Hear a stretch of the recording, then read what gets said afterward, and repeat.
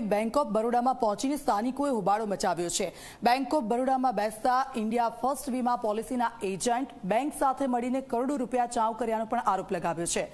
Agent બસો પચાસથી વધુ લોકોના પૈસા લઈને ફરાર થઈ જતા લોકોએ રાતા પાણીએ રડવાનો વારો આવ્યો છે.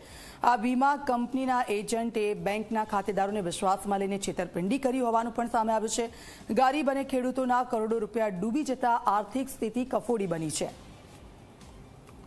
ભાઈ આશુભાઈ શાહ કરીને અને સાગરભાઈ દેસાઈ કરીને એ મારા ઘરે આવ્યા હતા.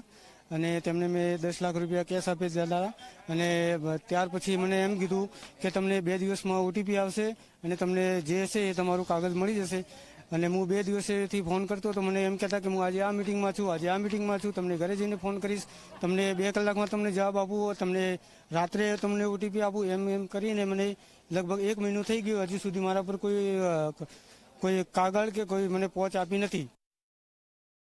આ ગરીબોના પૈસા જે ખોટી રીતે એ લોકોએ ભોળવી લીધા છે એના પર અમારે પોલીસ કેસ કરવો છે પોલીસ કેસ કરી અને આપણે કાયદેસર કરી બેંકને મેનેજરને બેંકના જે મળતી હોય એમને જોડે બી અમારે કાયદેસર કાર્યવાહી કરવાની જો અમને આ ન્યાય નહીં મળે તો અમારે ચોક્કસપણે એફઆર બેંકના વિરુદ્ધમાં એફઆર નોંધાવવી પડશે.